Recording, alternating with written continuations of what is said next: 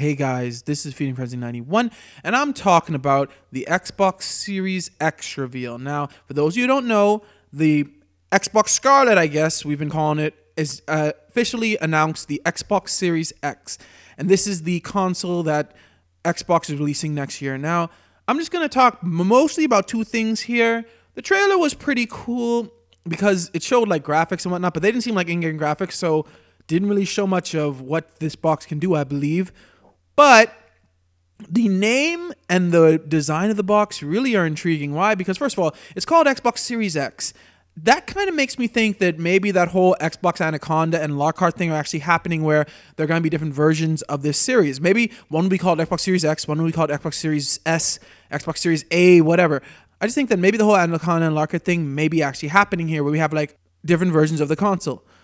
But of course, maybe that's just a name. Now let's get on to the design. It looks like just a rectangle cube. This is just such a weird design, especially with that CD drive just sticking out there at the bottom. It just looks so weird. I'm not gonna lie. And this kind of reminds me of the Xbox 360 where they always showed it standing up, but standing up, the 360 actually I think used to heat up faster and cause the three red rings of death to happen much faster. So it was actually better to keep the console on its side, if I recall. And that's what this kind of makes me a little concerned about this design. I mean, it looks like the vents are on the top.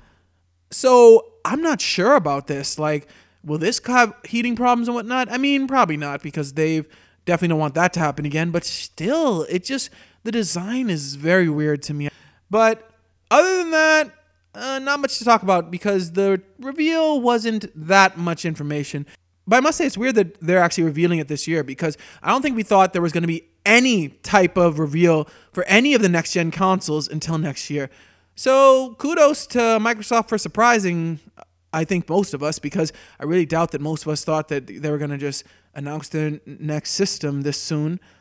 But what do you guys think about it? Do you guys like the design? And do you guys think the whole series and the title means that there's going to be like one, more than one version released on launch day? Let me know in the comments below. Thanks for watching, like, share, and subscribe. May God bless you all.